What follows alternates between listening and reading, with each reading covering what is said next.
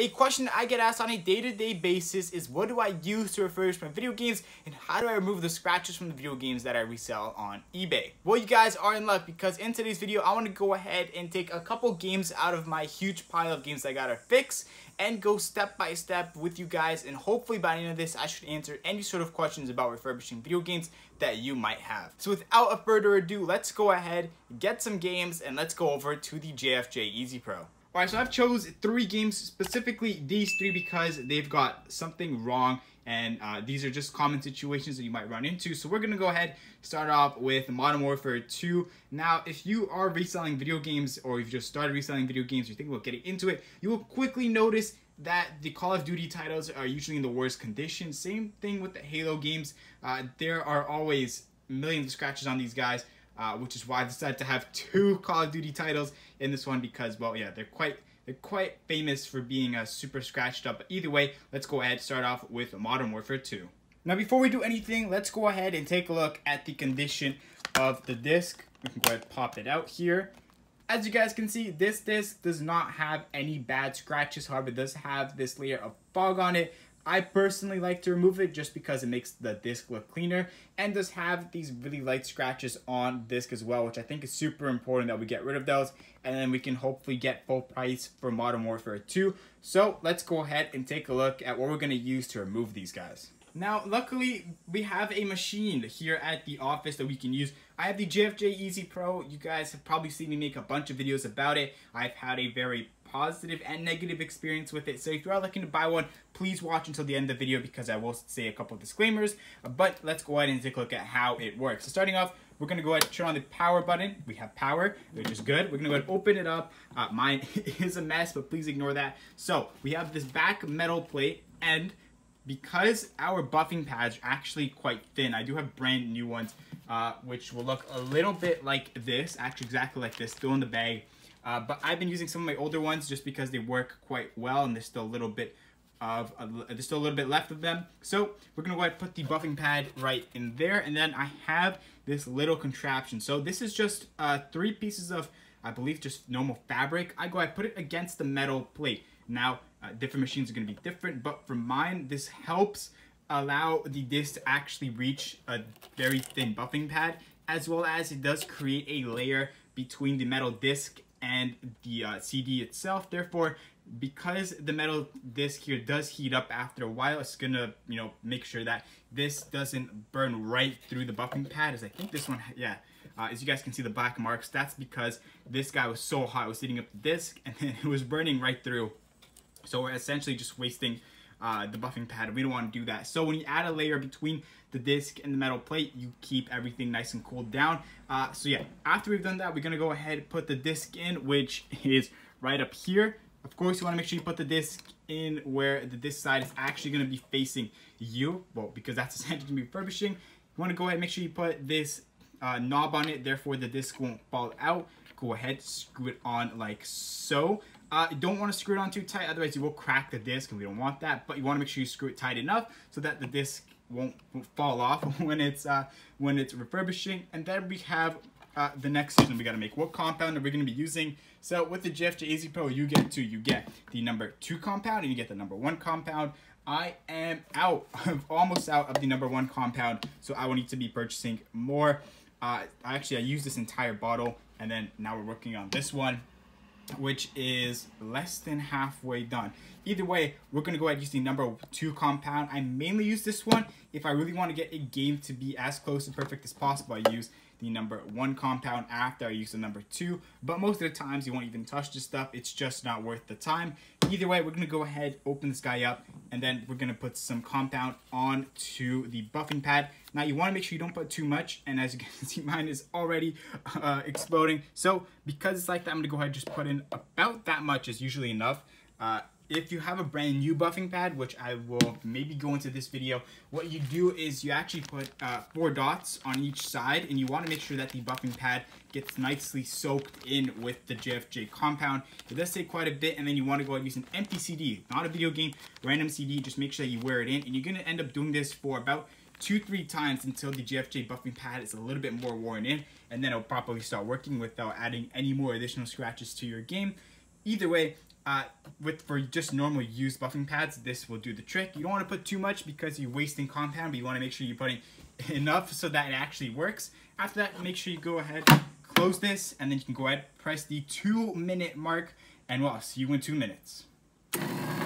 Alright, so the JFJ just finished fixing up the game. We're going to go ahead, open up the machine, which is apparently more difficult than you think. As you guys can see, the buffing pad definitely did its job here. The compound spread quite nicely. We're to go ahead and use a spray bottle, spray off the disc, and then we're to go ahead and use this towel to wipe off all the water. And voila, it is done. As you guys can see, there is still a very, very little like that. The scratches you're seeing is just a very, very, very thin layer which is very not noticeable unless you have this extremely powerful light that I'm using right here, uh, which most people don't actually look at. So yeah, don't worry about that. Uh, it's it is very normal.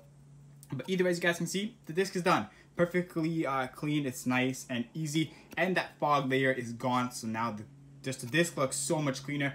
But you always want to make sure you're testing these games after you refurbish them, just in case you accidentally wipe it off a data layer. So to do that, we're going to go ahead, turn on the 360, hook it up to the TV, which I think it already is, and then I play some uh, Modern Warfare 2. And boom, we have Modern Warfare 2 in the console and it worked. So we're gonna go ahead and take the game out and put it back in the disc and then this case is actually in good condition so it doesn't need to have any stickers removed luckily and we are ready to list this back onto eBay. Okay, so next up we're gonna do Madden 07. Uh, it does say Madden 09, but it is Madden 07 inside this case, which I can open with one hand. There we go. We're gonna go ahead and take a look at the condition of the disc and then I'll tell you what we're working with. Okay, so as you guys can see, this disc definitely has a lot more scratches. It's definitely in worse condition. However, this is more of what you're gonna find in most discs, to be honest. It's just this light layer of scratches on the top of the surface of the discs. These are always super easy to remove, so we're gonna go ahead and uh, pop it into the JFJ Easy Pro, and I'll show you what I would do. Now, the process for this is exactly the same, just as the Modern Warfare 2 copy. We're gonna go ahead use some of this number 2 polish, and we'll see how much damage that does. And then if we're able to not remove any sort of scratches, I actually put you guys on the number one polish to show you what it does because even though this might not be a very expensive game, on some of the more expensive games that you might want to have, you know, in a very good condition, uh, yeah, this is probably worth a run. So let's go ahead and take a look at the result. Now, just as last time, we're going to go ahead and put the exact same amount because that seemed to be a very good amount to be putting. Well, make sure we don't waste anything. We're going to go ahead and just wipe it like that. Just a dot is plenty of compound and then just as last time, pop it in for two minutes, and I'll see you guys in two minutes. All right, so the JFJ just finished up refurbishing this. We're gonna go ahead, and do this, and boom, as you guys can see, the buffing pad definitely did its work. So we're gonna go ahead and actually use the blue buffing pad that I have uh, somewhere. You guys can give me a minute to find it. And we're gonna go ahead and use this blue compound, and we're gonna go ahead and see what the actual final product would look like, just in case you guys are actually curious what would happen. And well, yeah. So what you can do is actually leave the disc on, but you do want to uh, switch buffing pads. You do not want to be mixing compounds. It's just not gonna. It's not gonna work too well. Uh, but yeah, you don't want to clean this off. Just it's a waste of time. So we're gonna go ahead and find the blue buffing pad, and I will get back to you. After a quick search, we found the blue buffing pad, luckily. So I only use this buffing pad for the number one compound. It really should be called number two because you use this one second. I don't know what JFJ was thinking. Um, clearly, it must have been the same person who made the, uh, the backplate metal. Uh, either way, we're going to go ahead and use the same amount. Oh, that's actually too much. But either way, around, uh, you should probably put less than that actually. But that should be uh, plenty of JFJ compound for this. So it is the blue compound, so you only want to use it for one minute, not two. Uh, otherwise, uh, yeah, you're just gonna damage the disc. Maybe, it, yeah, you wanna you wanna run it as, as little as possible. So we're gonna wait for a minute, and I'll see you when everything's done. All right, so we just finished with the blue compound, which means the disc should be hopefully 100% done. Gonna go ahead, and clean it off, and we can go ahead and take a look at the final result and the disc is done. Now, uh, I think the uh, it's actually in really good condition to be honest. Uh, yeah, uh, to be honest, this game wasn't in bad condition to begin with. Like, it, it didn't have any deep scratches, so I'm sure that just the white buffing pad and the white compound would have, would have done the trick. But yeah, I just wanted to show you what would happen if you were to use uh, perhaps a worse disc would be way better for this because as you guys can see, we have now this this burned in layer behind the uh, the little layer that we were dealing with. Which is uh, which is gone. But there's is if you have a very powerful light, you can definitely see these scratches over here. Once again, it's not noticeable with just normal light, so it will be fine. I'm sure the game will work. Either way, we're gonna go ahead, pop it into the into the 360 but my point was that you can only use the uh, this guy the number one compound if you really want the game to be pristine condition and only do that if the game is in a pretty bad condition but either way let's go ahead test this game move on to our last example Alright, as you guys can see, Madden 07 works perfectly fine. Let's go ahead, put it back in the case, and then move on to uh, Call of Duty 4 Modern Warfare. Okay, so I got Modern Warfare out, and as you guys can see, this one definitely has a very, very uh, obvious problem, and that is these circular scratches. Now, these guys are very difficult to remove, to be honest, but you can definitely uh, make sure that they're not as visible. Luckily, these don't seem to be too deep. Either way, we're going to do the same thing as with all the other discs. Pop it in with just the white JFJ compound. We're not going to use the uh, number one polish or, or the blue stuff. We got the original buffing pad back in here. Let's go ahead and screw this in like so. Like I said with the first game, make sure it's not too tight, make sure it's not too loose. You don't want the game to be flying off, but you also don't want the game to crack, which uh, which when you have a bigger issue than uh, originally because a cracked game is uh, well way more useless than a scratched one. Oh, okay, and we're gonna go ahead and use just as much compound as before. Maybe just a little bit less, but either way, it should do, it should do the job. Boom, put it in for two minutes, and I will see you guys when it's done. All right, and as you guys can see, it's probably the best copy we've got all day. Just actually took out the uh, game that I was talking about, Modern Warfare. So we're to go ahead and put it in the JFJ Easy Pro, see if it works. Sorry, we're to put it in the Xbox 360, test it, make sure it works. And then uh, this I will actually not be listed for a little while because we got to move these stickers.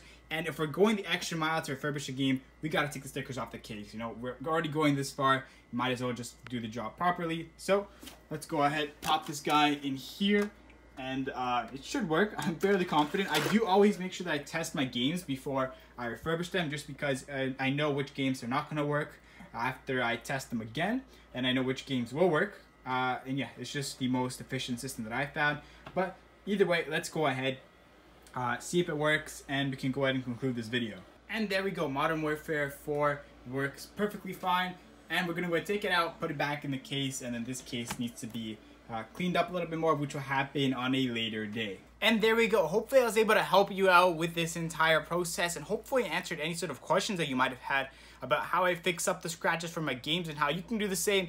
Now, if you're just trying to fix a couple games from your personal collection or you're just trying to sell, you know, maybe like, I don't know, 10, 15 games on eBay, uh, this might not be the best solution for you. To be honest, this machine is like two, 300 bucks. Especially if you live in Canada, you have to add $100 for shipping it's just it's quite expensive so you want to make sure you're going to be able to pay off the machine by just fixing up the games be smart with your money. Make sure that you are doing your research. Another thing you want to keep in mind if you are interested in purchasing this machine is that the learning curve is extremely insane. Now, it took me about, I would say, one or two months to figure out how this machine properly works. It took me a whole bunch of just materials to get the machine worn in and then on top of that, constantly having issues that popped up. Now, I was able to fix some of the more common issues, and I did make a video about that, which will be one of the top links in the description. So do make sure you do watch that video if you are looking to get one of these, or if you recently did buy a JFJ Easy Pro and you know you're struggling with it, that video should help you out quite a bit. Otherwise, that will be it for today. Like I said, hopefully I was able to answer any your questions, but if I didn't,